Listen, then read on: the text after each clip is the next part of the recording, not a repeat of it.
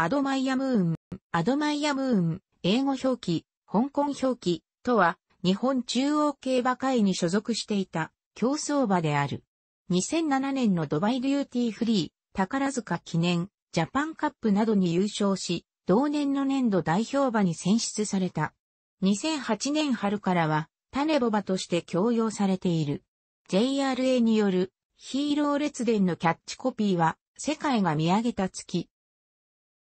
2003年のセレクトセールでは1600万円で落札された。育成段階では1日も調教を休むことなく、育成スタッフに丈夫な印象を持たれていた。関係者からは早くもクラシック候補と言われていた。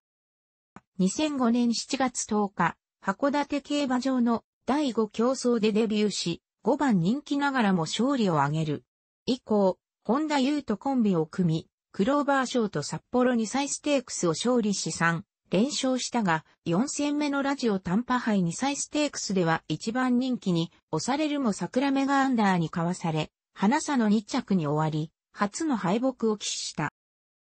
2006年の初戦は共同通信杯。この競争から竹豊に乗り換わった。フサイチリシャールの2番人気に押される。1番人気のフサイチリシャールが先行するが、最後の直線で、差し切り重賞2勝目を挙げた。続いての弥生賞では唯一敗戦を喫した、桜メガワンダーなどを相手に、最後の直線で差し切り、勝利、皐月賞の優先出走権を得た。竹豊が無敗での皐月賞出走となった、不採地ジャンクとどちらに騎乗するか注目されたが、アドマイアムーンに騎乗することが決定した。しかし、結果は、名将サムソンの4着に敗れ、不採地ジャイクにも先着を許してしまった。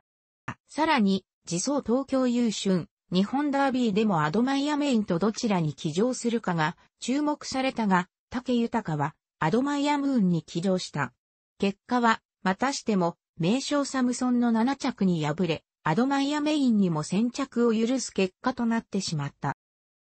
夏には、札幌記念に出走。このレースで初の小馬との対決となったが、後に安城の部が札幌記念から馬が変わってきたと振り返った通りに、後方から差し切り勝利を収め、クラシックでの雪辱を果たした。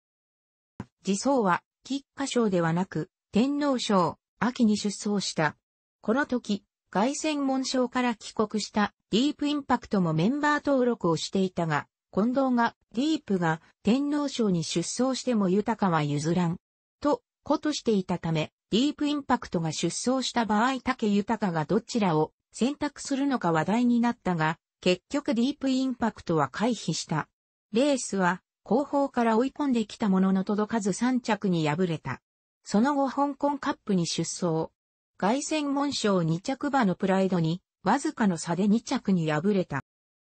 2007年は京都記念からスタートした。59kg の斤量を背負い、また有馬記念2着のポップロックが出走したこともあって、ポップロックに次ぐ2番人気に止まった。しかしレースでは、中団から鋭く伸び、最後は、ポップロックの追い込みを、首差だけ粘り記事勝利を収めた。その後ドバイデューティーフリーに出走し、ダイワメジャーやこの年のブリーダーズカップターフを制する、イングリッシュチャンネル、リンガリといった強豪を抑えて勝利。悲願の G1 初制覇は、海外遠征によるもので、このレースでのレーティングは125ポンドと評価された。その後、日本では未だ異例とも言える海外を転戦するローテーションを組み、ドバイから日本へは戻らず直接香港に移動し、香港 G1 クイーンエリザベス2世カップに出走した。しかし、後方から追い込むも、スローペースのレース展開が合わず、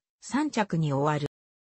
帰国後は、第48回宝塚記念に向け調整が進められたが、竹豊の交番が決定し、岩田構成への乗り代わりとなった、それまでの主戦機種だった竹豊は、ポップロックに起動した。道中は名称サムソンをマークする形で中断を、進み最後の直線ではいち早く抜け出していた。名称サムソンが馬体を合わせてきたが、残り100メートルあたりで振り切り、名称サムソンに12馬審査をつけて、国内 GI 初制覇を果たすとともに、皐月賞と日本ダービーで苦杯を舐めた名将サムソンに雪辱を果たした。レースでのレーティングは前年の覇者ディープインパクトと同じ124度と評価された。また、8月11日に発表された JPN サラブレッドランキングの2007年度上半期において125ポンド、マイルの評価を得た。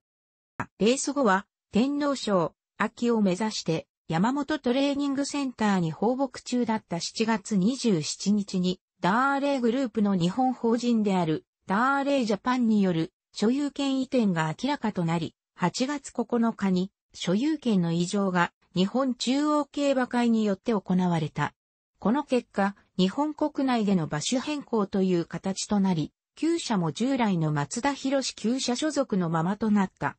8月26日には前哨戦を使わずに第136回天皇賞へ直行することが発表された。当馬はその後、ノーザンファームに移動し、9月14日に帰厩した。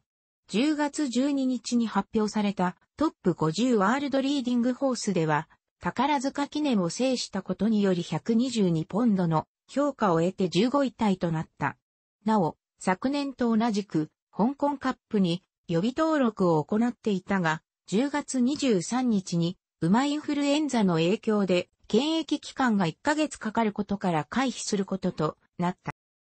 そして迎えた天皇賞、秋では4ヶ月ぶりの実戦ながら2番人気に支持され、安城にかつての主戦機種、竹豊を迎えた名将サムソンとの今年2度目の対決であったが、直線でタバからの走行妨害があったことも響き6着という結果に終わり、圧勝した名将サムソンとは対照的な結果となった。このレースの後の10月31日に2008年からダーレージャパンスタディオンコンプレックスにて種ボバ入りし、初年度の種付け料が同場最高額の500万円、受胎確認後9月末日支払い、フリーリターン特約付きとなること、天皇賞、秋で、タバと接触した影響がなかったことから、11月25日のジャパンカップに出走することが発表された。また、11月4日に発表されたトップ50ワールドリーディングホースでは、前回と同じ122ポンドの評価を得たが、順位は17位タイとなった。ジャパンカップでは前走敗れたことや、距離不安を囁かれていたこともあり5番人気にとどまる。かかったことも影響してか道中は、普段よりも前方でレースを進め、ロスの少ない内側を通って、直線で早めに先頭に立つと、最後は、ポップロックの追撃を、頭差しのぎ切り勝利を飾った。大方の予想では、後方からレースを進めると予想されたが、それとは違い先行して押し切るという新境地を見せた。レース後、このレースをもって現役を引退することが発表され、2007年12月4日付で競走馬登録を抹消、翌12月5日に北海道のダーレージャパンスタディオンコンプレックスに移動した。なお、アドマイヤムーン自身の登録抹消年月日は12月4日となっているが、引退発表後の11月28日付で、ダーレージャパンファームは、中央競馬の馬種登録抹消手続きを行っている。ちなみに、出走に至らなかったが、12月6日に発表された有馬記念ファン投票の最終決で5位となる64,886票を獲得した。11月29日に発表された重賞オープン特別競争レーティングではジャパンカップを制したことにより123ポンドの評価を得た。さらに11月30日に発表されたトップ50ワールドリーディングホースでは日本馬の中で最高位となる123ポンドの評価を得て11位タイとなった。2007年度の JRA 賞が2008年1月5日に発表され、年度代表馬と JRA 賞最優秀4歳以上牡馬を受賞した。また1月15日には2007年度のワールドサラブレッドレースホースランキングが発表さ、日本馬最高の125ポンドを獲得し、ブリーダーズカップターフを制したイングリッシュチャンネル、イングリッシュチャンネルとアイリッシュダービーをキューバ審査で制したソルジャーオブフォーチュソルジャー・オブ・フォーチュンと並ぶ総合7位タイにランキングした。4月4日に発表されたトップ50ワールドリーディングホース。対象期間は2007年10月1日から2008年3月31日までのレースでは123ポンドの評価を得て日本馬最上位の第5位タイとなった。2008年2月18日に種ボバ入り後初めての展示会に参加し、競走馬時代よりも約 50kg 増えた 530kg で登場した。父エンドスウィープと相性の良かった繁殖牝馬との交配も行われる。初年度の種付け量は500万円と設定され、初年度には300頭を超える種付け希望から厳選した138頭の牝馬との種付けを行い、種付け頭数を抑えたため受胎率も極めて良好である。なお、種母馬生活2年目となる2009年の種付け量は400万円。出生条件、産区誕生後30日以内支払いに設定された。また、この年は前年に申し込みのオファーを絞りすぎた反省からか、種付け頭数を大きく増やして195頭の牝馬との種付けを行った。2011年に初年度3区がデビュー。同年の函館2歳ステークスをファインチョイスが優勝し、重賞初勝利を挙げた。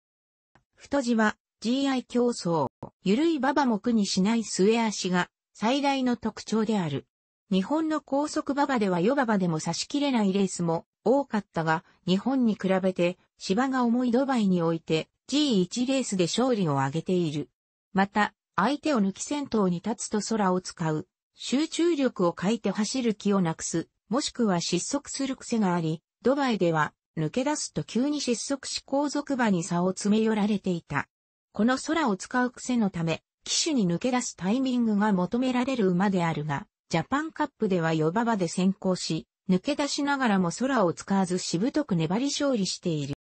楽しくご覧になりましたら、購読と良いです。クリックしてください。